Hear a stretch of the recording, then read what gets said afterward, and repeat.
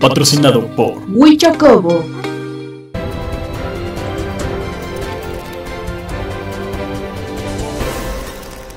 ¿Qué tal amigos de En Tiempo Comunicaciones? En esta ocasión nos encontramos aquí en las instalaciones del Club Rotario donde se llevará a cabo la rueda de prensa para explicarnos a detalle acerca de esta tercera carrera del color, un evento con causa. Así que acompáñame a conocer más. Eh, en años pasados tenido este, mucho éxito en esta carrera y pues este año volvemos a organizarla eh, como equipo, como Club Rotario Manantiales. Bueno, pues este, esta carrera se va a llevar a cabo el 5 de noviembre, es domingo. Estamos ya a pocos días de que se realice la carrera, es una carrera temática.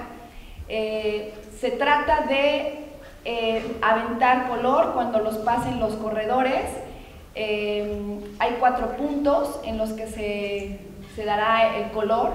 El color es, para los que no sepan, es un color, es un polvo se llaman polvos Holly, que este, son, este, me pasa aquí?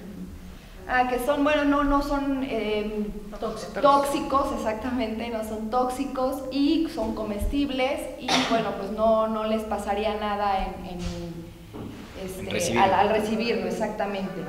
Este, el recorrido va a ser desde el Monumento a la Identidad, y termina en la explanada municipal. Son 5 kilómetros, es una carrera súper familiar en la que pueden este, acudir pues desde niños pequeños en sus bicicletas, en carreolas, con sus perritos y pues es muy divertida, pueden caminarla este, o trotarla. Eh, las inscripciones están abiertas ya desde el pasado 5 de septiembre en Musical Yáñez y en Bambú del Paseo. El costo de recuperación es de 150 pesos por adulto y 120 pesos para los niños. Se les va a dar un kit, ese kit consta de playera, número oficial, eh, medalla al final de la carrera y este, al final también se les dará este, agua, o sea, lo que es la hidratación. Kit de, hidratación. Kit de, de hidratación, exactamente. Y bueno, este, a grandes rasgos es lo que yo les quería platicar sobre la carrera. No sé si hay alguien que quiera agregar algo sobre... Buenos días, soy Fernando González. Como ya lo comentaron el presidente Carlos Fernández, su esposa Melisa, esta es una carrera con causa. Esto la verdad es muy glorificante y, nos da mucha satisfacción participar en una actividad como esta, porque los, las utilidades, por llamarlos de esa manera, los beneficios que se obtengan con lo recaudado, se van a utilizar para hacer diferentes eh, aplicaciones en beneficio de nuestra comunidad y fuera de ella también. Vamos a utilizar los recursos para apoyar a la escuela Gaby Brimer, que es una escuela que atiende a estudiantes con atenciones especiales. Es un centro de atención múltiple que está en Santa María Coapan. También se van a aplicar los recursos de lo recaudado para la arborización del acceso poniente de la ciudad, todo lo que es desde la caseta de cobro hasta el Hospital de la Mujer, se van a colocar ahí árboles y participaremos en una reforestación como club. También vamos a aplicar esto a, la beca de un joven estudiante. Estamos eh, ya en el proceso de seleccionar a un joven que no tenga los recursos suficientes para patrocinarle un año de intercambio en el extranjero. Otro de los beneficios que se obtendrán es eh, hacer la jornada en Chula Melasilla. La jornada en Chula Melasilla consiste en reparar sillas de ruedas. Muchas veces las personas que usan sillas de ruedas pues sufren daños en, alguna parte del sistema del mecanismo de la silla y viene un grupo de, un equipo especial que conoce de la reparación de estos equipos para hacer este, este servicio.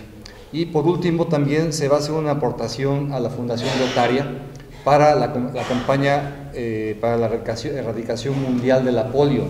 En la polio, como ustedes saben, es una enfermedad que está a punto de ser erradicada del mundo. Solamente quedan tres países en el mundo donde existe polio, que son Nigeria, Pakistán y, Afganistán. Entonces, eh, estamos también como Rotary International trabajando mucho en ese proyecto y se van a destinar recursos para ello.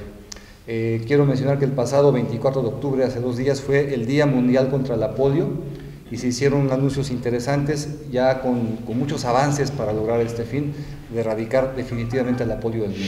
Amigos de En Tiempo Comunicaciones, nos encontramos con Melissa Hernández del Club Rotario Manantiales y nos va a hacer una invitación para que se sumen a esta carrera de color que es un evento con causa. Hola, ¿qué tal? Buenos días. Pues los invitamos a todo tu auditorio de En Tiempo Comunicaciones a esta tercera edición de la Carrera del Color.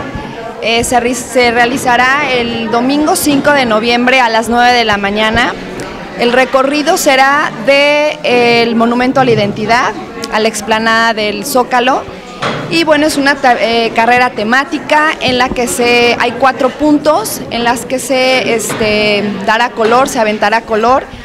Eh, los invitamos porque es una carrera súper divertida en la que van a asistir muchas familias, muchas familias pueden correr con, eh, con perritos, este, con niños pequeños, con carreolas, en bicicleta y este o caminarla, ¿no? No necesariamente es una carrera este, que necesiten correr toda la carrera, ¿no? La pueden este, caminar. Y bueno, pues los invitamos nuevamente para que asistan y les damos las gracias. Así que ya lo saben, amigos de En Tiempo Comunicaciones, los invitamos a que se sumen a esta carrera, donde definitivamente podrán divertirse, pasar un rato agradable en familia o bien acompañados de sus mascotas. Estén al pendiente sobre los puntos de venta. Ahora nos puedes escuchar a través de TuneIn Radio. Busca nuestras dos estaciones, Más Música y La Sabrossuena.